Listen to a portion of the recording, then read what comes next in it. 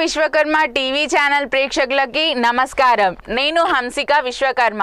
నిర్మల్ జిల్లా కేంద్రంలో ప్రముఖ దుర్గమాత గ్రామాలలో అమ్మవారి పల్లకి ఊరేగింపు ఘనంగా జరిగింది. ఈ ఊరేగింపులో దుర్గమాత భక్తులు అమ్మవారిని తలుచుకొని పులకించారు.